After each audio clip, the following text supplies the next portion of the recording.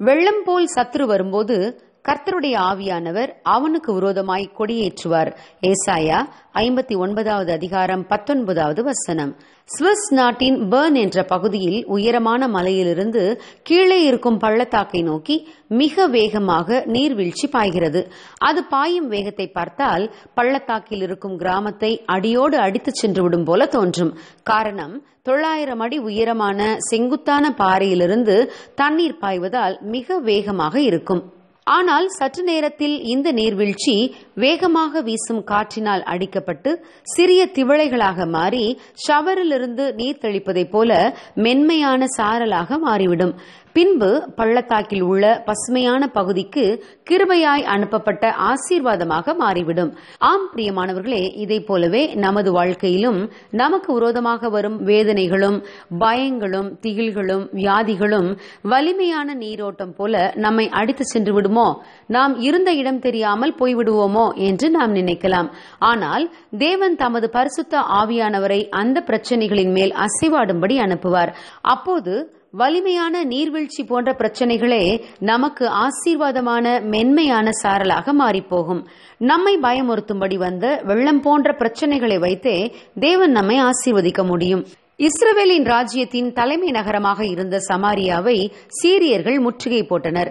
ஆகவே சமாரியாவிலே பஞ்சம் கொடுமையாக இருந்தது. யாருக்கும் சாப்பிட ஆகாரமில்லை. ஜனங்கள் ஈவு இரக்கமின்றி தங்கள் குழந்தைகளை கொன்று சாப்பிட ஆரம்பித்தனர்.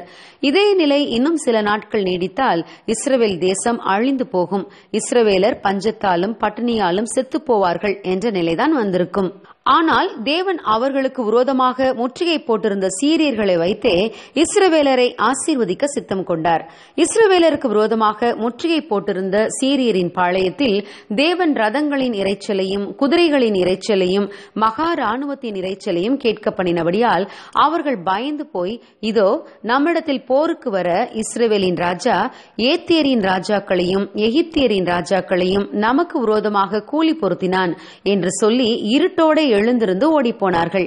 அப்படி ஓடினவர்கள் தங்கள் கூடாரத்தையும் தங்கள் குதிரைகளையும் தங்கள் கழுதைகளையும் பொன்னையும் வெள்ளியையும் ஏராளமான உணவுப் பொருட்களையும் அப்படியே வைத்துவிட்டு தங்கள் பிராணன் மாத்திரம் தப்பினால் போதும் என்று ஓடிப்போனார்கள் சீரியர்கள் ஓடிப்போன விஷயத்தை நான்கு குஷ்டரோகிகள் வாயிலாக தெரிந்து கொண்ட இஸ்ரவேலர் வெளியே வந்து சீரியரின் கூடாரத்திற்குள் நுழைந்து அதில் இருந்தவைகளை எடுத்துச் சென்றார்கள். பஞ்சம் தீர்ந்தது.